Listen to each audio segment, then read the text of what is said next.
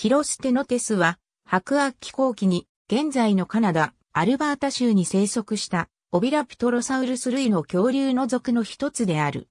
タイプ種は、カーストノッツパーグラススリスである。葉のないくちばし、細く比較的まっすぐな鍵爪のある長い腕、細い跡を持つ強力な足によって特徴づけられる。体長は2メートルほどであった。禁煙種であるアンズーやカエナグナトゥスの頭骨から推測すると、雑食もしくは草食だったと考えられる。2005年にフィルセンター及び J. マイケル・パリッシュは、キロステノテスの手の機能を研究し、独特のまっすぐな鍵爪のある、細長い第二子は隙間を探ることに適応していた可能性があることを発見した。そしてこの第二種で無脊椎動物、走行を持たない、両生類、爬虫類、哺乳類など柔らかな体の動物を突き刺して飼っていたと示唆した。しかし、もし、キロステノテスの第二子にカウディプテリクスのなど、他のオビラプトロサウルス類で見つかっている大型の初列風切りがあったとすると、このような行動をすることはできない。NMC2367 の手と NMC8538 の足を用いた復元図キロステノテスの発見と命名の歴史は混乱している。最初の化石は1914年にジョージ・カイ・スタンバーグによりカナダ、リトルサンドクリーク近郊にある恐竜公園層のカンパニア紀の地層から発見された。この類層はカナダの類層の中でも最も多く恐竜の化石を産出している。標本はローレンス・ラムによって研究されたものの、ラムは公式な記載を発表する前に死去してしまった。1924年にチャールズ・ギルモアがラムの残したノートを発見し、これを引き継いでタイプ種カーストノッツパーグラスリスとして命名、記載を行った。俗名はギリシャ語で腕を意味するケアと狭さを意味するステナッツから派生している。種小名和はラテン語で完全にを意味する窃盗5パーマイナスとキャシャナを意味するグリシリスを組み合わせたものである。ホロタイプ NMC2367 は一組の手の化石である。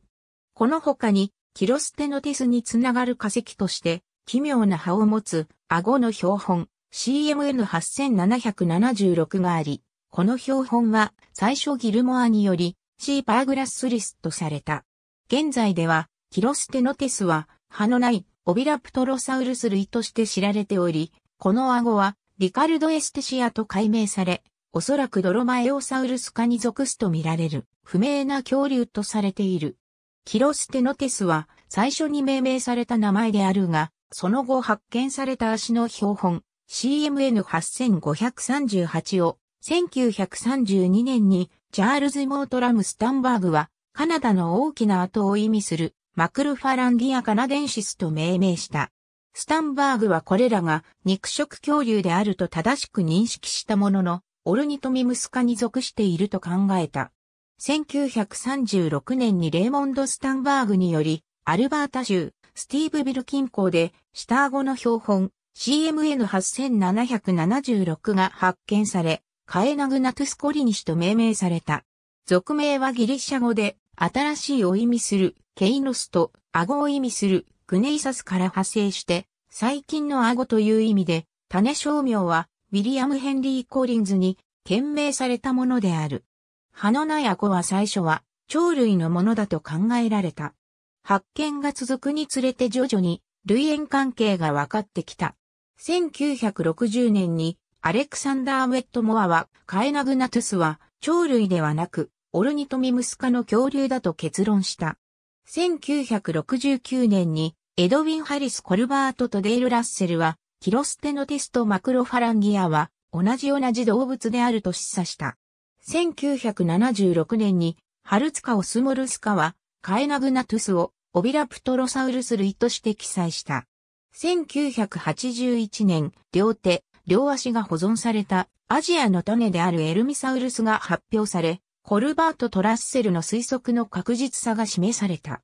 RTMP79.20 1の骨格1988年、1923年に発見されて以来保管されていた標本がフィリップ・カリーとラッセルにより精査された。この化石は他に発見された個別の恐竜をつなぐことになった。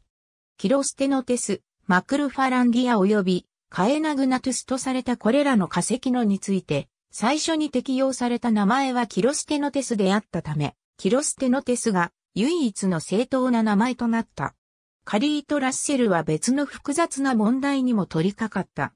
1933年にウィリアム・アーサー・パークスはアルバータ州で発見された別の足の化石ロム781に基づいてオルニトミムス・エリゴンスを命名した。カエナグナトゥスがまだ鳥類だと考えられていた1971年、ジョエル・クレイクラフトは小型の下顎の骨 CMN2690 に基づいて第二の種シナナサズスターンバーギーを命名した。1988年、カリート・ラッセルはこれらの化石はカーストノッツ・パーグラススリスのより華奢な方だろうと結論した。しかし1989年、カリーはこれらが小型の別の種であると考え、エルミサウルスに禁煙な第二の種として、エルミソリス・エリゴンスと命名した。1997年に、この種は、ハンス・ディーター・スーズにより、カイロステノテス・エレガンスに改名された。この種は2013年に新属レプトリンコスへと移された。アルバータ州のホースシューキャニオン層やモンタナ州、サウスダコタ州のヘルクリーク層の地層から発見された化石も過去にはキロステノテスに分類されているものの、最近の研究では各々新種とされている。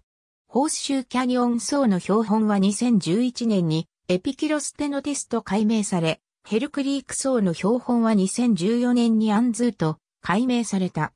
2007年、フィリップセンターによって行われた分岐学的研究では、恐竜公園層の大型化石がすべて同じ生物のものであるという考えに疑義が投じられた。最初の手と顎の標本は、系統樹の別々の位置に現れ、カエナグナトゥスのホロタイプである顎の骨は、一般的に分類される通りカエナグナトゥス科の規定的な位置に出現するが、キロステノテスのホロタイプである手の骨は、進歩的なオビラプトロサウルス類として、オビラプトル科に位置される。その後の研究では、カエナグナトゥスの顎は、他のカエナグナトゥス科と同じグループとされたが、キロステノテスの手は必ずしもそうではないとされた。2001年にブルースロートシルトラにより、獣脚類の疲労骨折と剥離骨折の証拠の調査と行動の影響についての研究が発表された。17個のキロステノテスの足の骨を調査した結果、1個の骨に疲労骨折があった証拠を発見した。ありがとうございます。